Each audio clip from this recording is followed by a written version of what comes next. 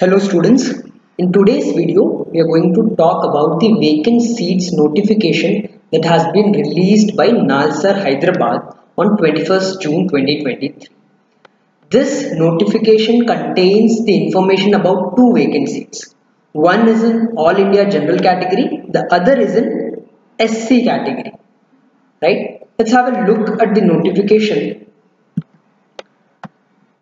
since the process of tracking vacancies is somewhat lengthy and time consuming process, we have streamlined this and the entire information about all the vacancies in all national university is available in a, in our single page which you can find through the Google. The website is lawprep.in. You can search for lawprep.in space vacant seats in Google. You will be taken to this page. Now, after getting to this page, you can click here on the notification part of Nalsar Hyderabad. You will be taken to this notification. So in this notification, Nalsar has mentioned two vacancies. One is All India SC category. Remember All India SC category that means a candidate from any other state can also apply and All India General category. One, one vacancy. uh,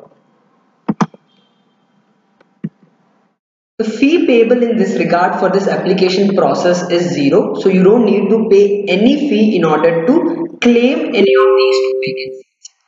Coming to who all can apply to this particular vacant seats.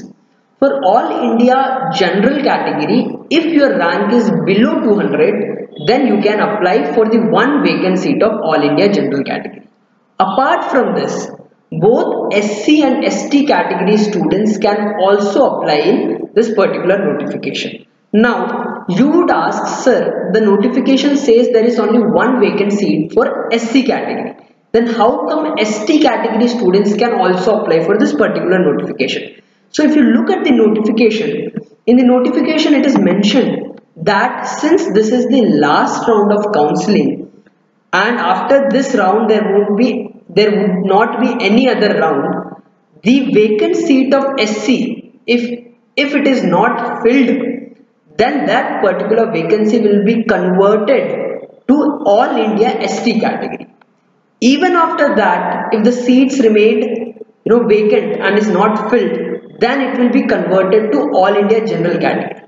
So the one all India general category which is mentioned in the notification, it is there. But apart from that, the all India SC category uh, vacancy that is subject to change into any other category if it is not filled. So all the three categories, the general, all India general, all India SC and all India ST category. All three categories of students can enroll or can uh, you know claim the seat for this particular vacancies.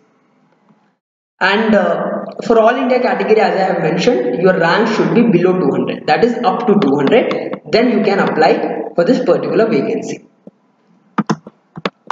Now, what are important days, dates in this regard? The last date for application is 26th June 2023, night by morning 10 o'clock. Right? You have to complete this application before 10 o'clock of 26th June 2023.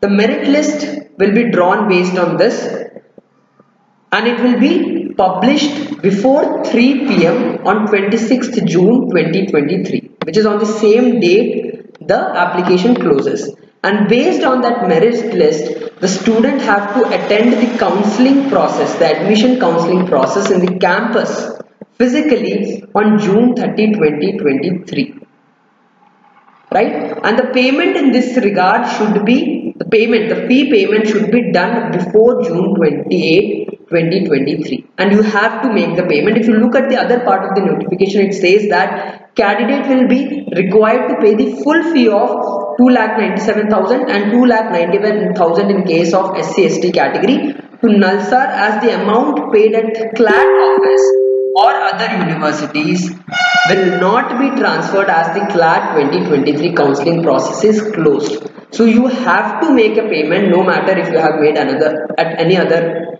you know office or administration department of any other NLU you have to make this payment in order to claim a seat. Once your name appears in the merit list that will be released by 3 o'clock on 26th of June right? Now let's let's have a look at the let's have a look at the uh, the admission the application filling process so once you click on this particular notification which is available on the law prep website then you will be taken to this particular notification where you can find a mention of a link.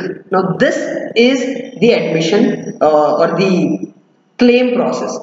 So you have to fill this particular google document right now what are the information which is asked in this in this in this particular Google document? Remember all three categories the All India General, All India SC and uh, as well as All India ST can also apply. In case All India SC is not filled through this particular call then it will be converted into All India ST and then maybe your application will be considered. You have to first start with entering your email address followed by your name, complete name, your CLAT admit card number your CLAT admit card PDF copy, your All India rank, your CLAT score precisely, and the category to which you belong. It's not the seat you are claiming, the category you belong to. For example, the seat right now is, the vacant seat right now is only for SC, All India SC category. But you will click on All India ST if you are from ST category because you are claiming that seat in case the All India ST seats get converted to All India STC right? After that if you are from SC ST category you have to upload your caste certificate. Then you have to mention your gender your contact details your 10th class mark sheet your 10th, uh, 10th class percentage. If it's in GPA system you can mention in GPA system then your 12th class mark sheet and the marks obtained in class 2 right? At the end you have to make an acknowledgement then that if you get sorted or selected in the merit list that is going to be released on 26th of June you will definitely make the payment and avail the seat. Right? After you agree on I, I agree button you can submit the application and it will get successfully submitted to the concerned administration department of NALSAR after which if your rank is suitable according to the two vacancies a merit list will be drawn and if your name appears in that merit list by uh, by 28 you have to make the payment and by 30 you have to physically attend the admission counseling at Nalsar campus. Uh, uh, that's all for today's video I think this video you know helps you in understanding the process if there is any query you can ask that in the comment section our team will be always available to help you. I wish you all the best. Thank you.